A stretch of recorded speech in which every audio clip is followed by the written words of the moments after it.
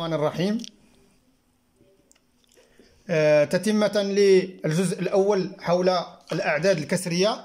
الآن آه، غادي نشرحو مزيان لبعض الأصدقاء اللي مازال ما فهموش مزيان هذه القضية ديال الأعداد الكسرية.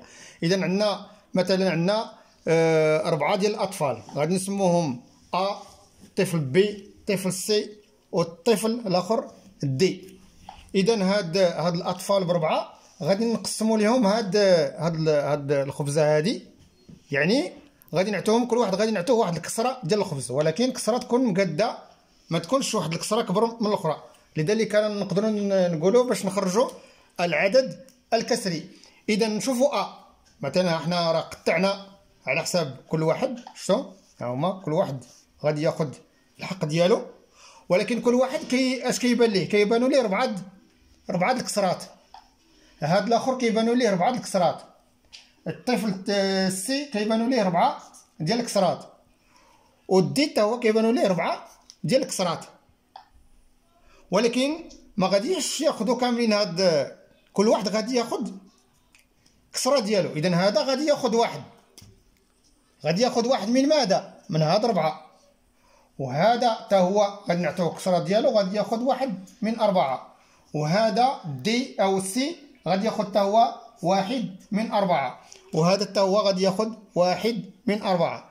وكنسمو هذا آه العدد الكسري واحد على أربعة واحد على أربعة واحد على أربعة واحد على أربعة.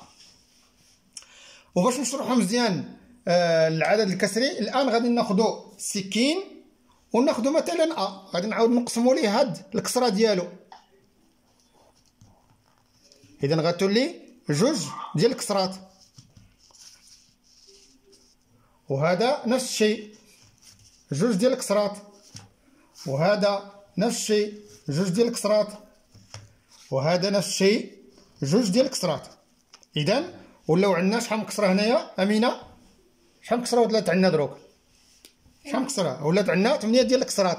اذا غادي ثاني يولي هنا 8 ولكن كل واحد غادي ياخذ جوج. إذا سيأخذ اثنان من ثمانية. هذا حتى هو غادي يأخذ اثنان من ثمانية. وهذا غادي يأخذ اثنان من ثمانية. ونفس الشيء بالنسبة لدي حتى هو اثنان من ثمانية. إذا كلهم غادي يأخذوا اثنان من ثمانية. إذا ماذا نستنتج؟